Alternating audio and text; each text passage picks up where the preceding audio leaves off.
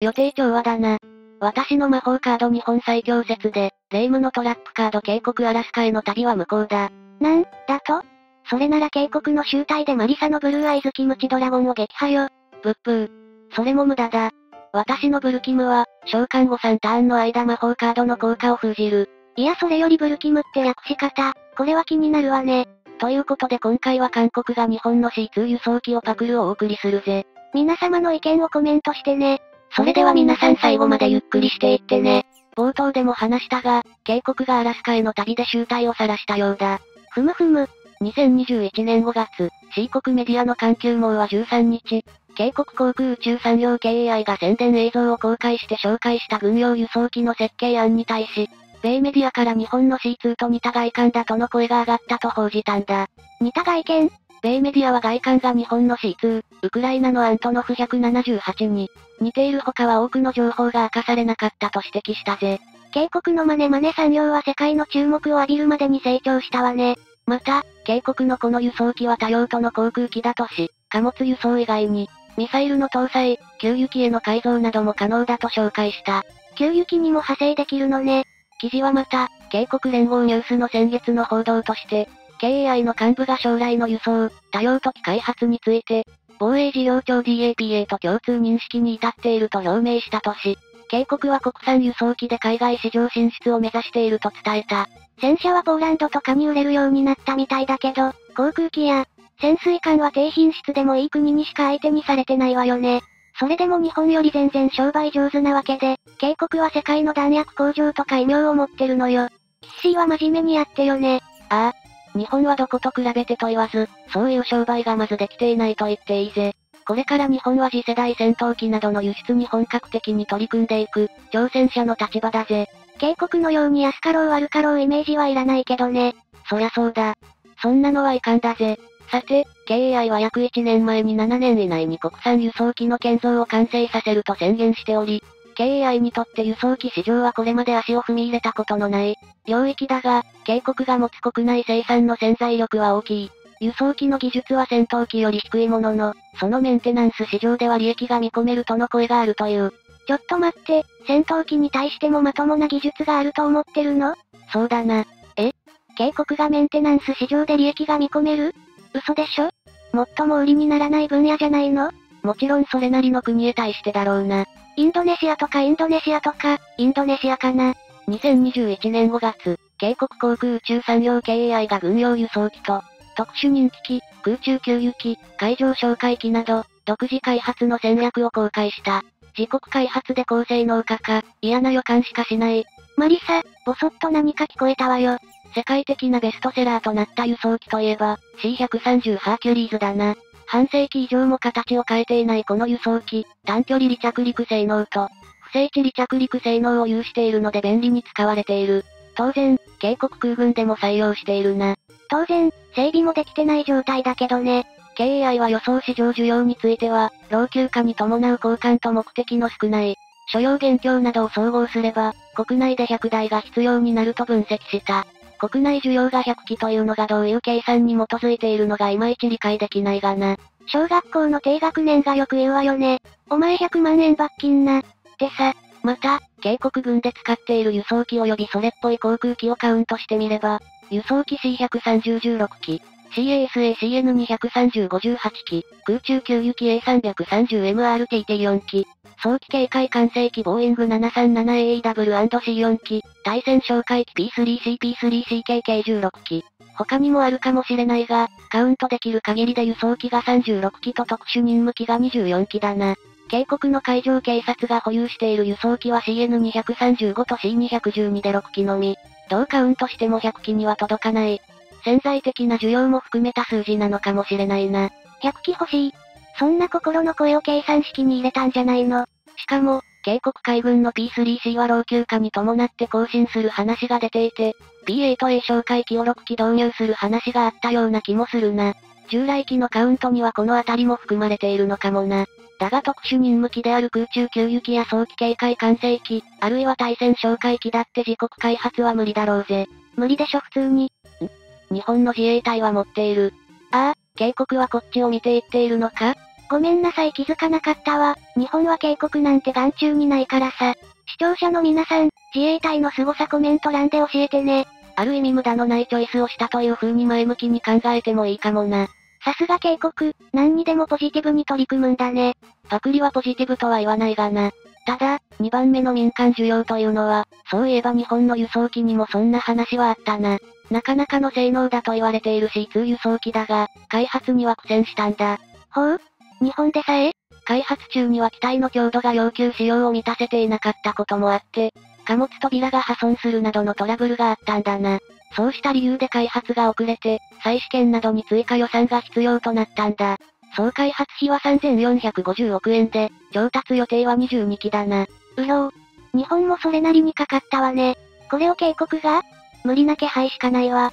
日本は開発費を下げるために P1 哨戒機と同時に開発したというちょっと、特殊な発注形態を選んだが、狙い通りになったかどうかは不明だぜ。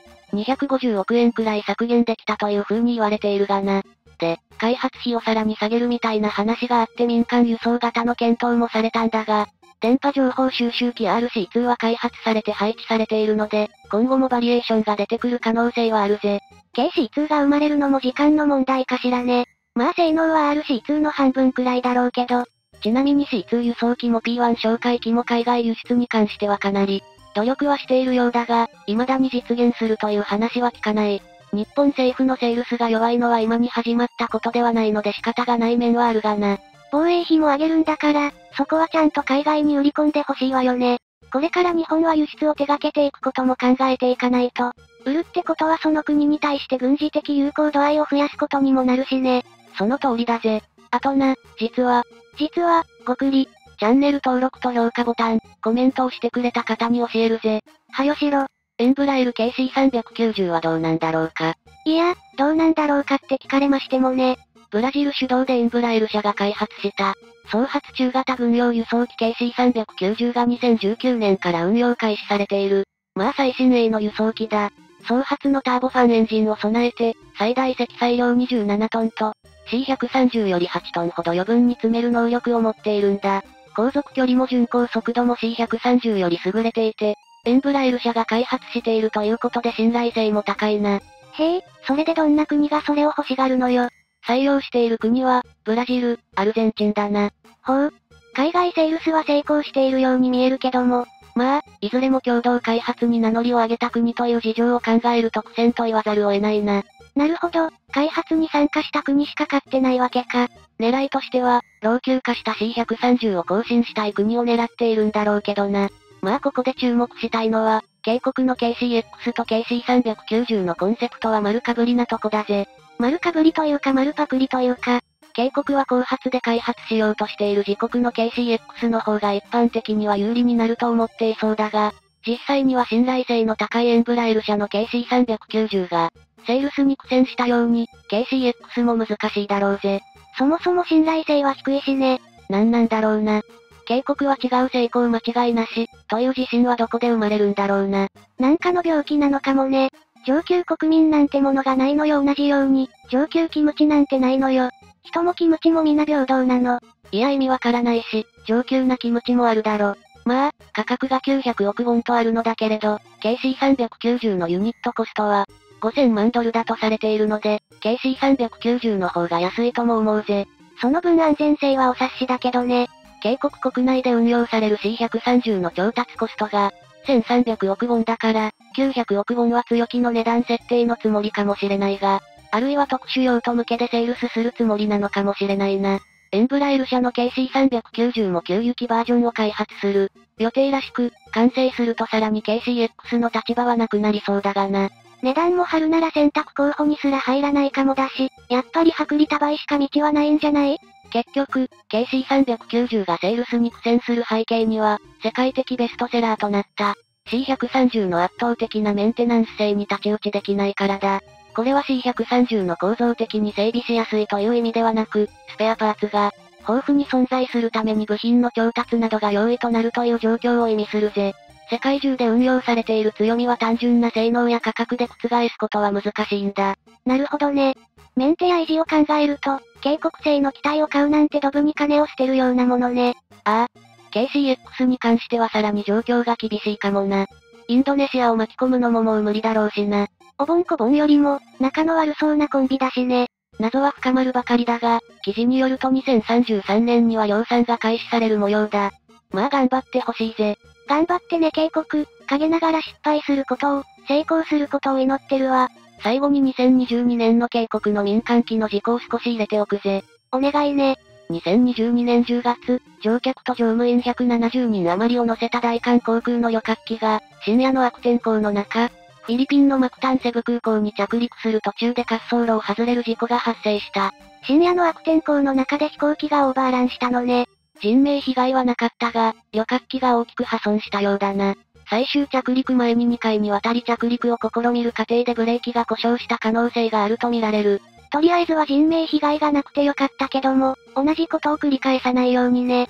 24日の国土交通部と大京航空の説明によると、23日に、フィリピンのマクタンセブ空港に向けてインチョン国際空港を出発した。大京航空の旅客機 A330-300 が着陸滑走路をオーバーランしたそうだ。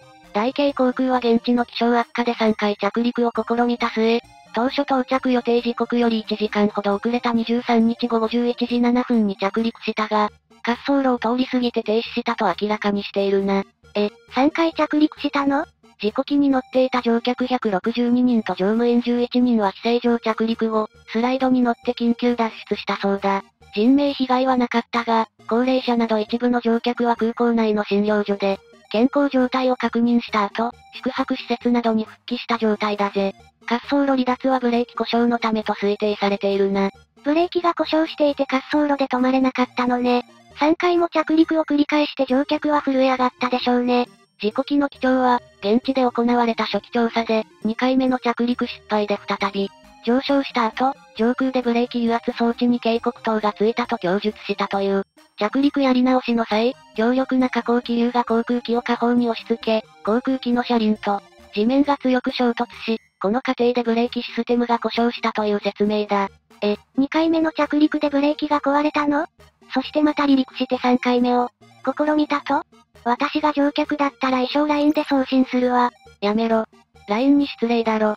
何でもかんでも失礼って言えばいいと思ってるでしょマリサ。まあな。これからも警告から目が離せないぜ。本日のお話はここまでだぜ。よかったら、チャンネル登録高評価お願いしますね。それでは皆さんまた次の動画でお会いしましょう。